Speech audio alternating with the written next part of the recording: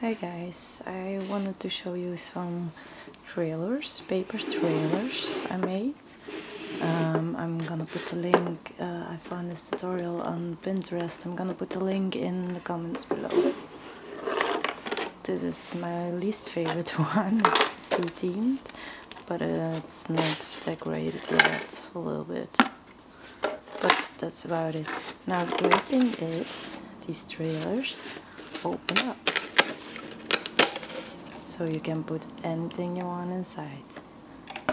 Now I used Velcro for this one, for these three ones, but uh, I wouldn't recommend it. I would use magnets in the future. I've ordered some, but they're not arrived yet.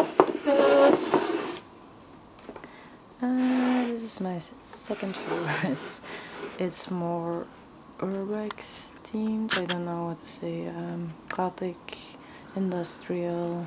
So you got a little crossover here, you got the danger signs, a few cogwheels. And this one opens up also. Again with the velcro, so that's not the best idea. I put a lot of stuff inside there, but you can see it opens up. Really love this one It's like more my kind of thing.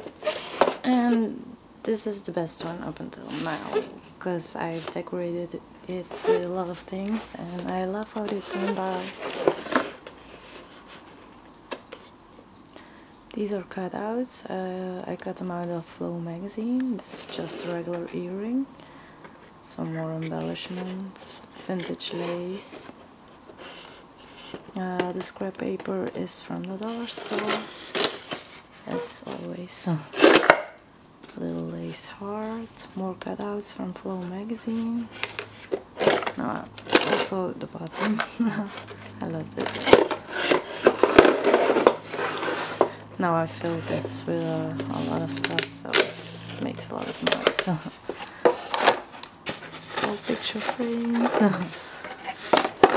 you can see you can put a lot of things in there. It's pretty big. And it closes very well. Now I have these three trailers and I'm definitely gonna, going to make more in the future. If you want to make one yourself, I'll put a link below, so go check that out.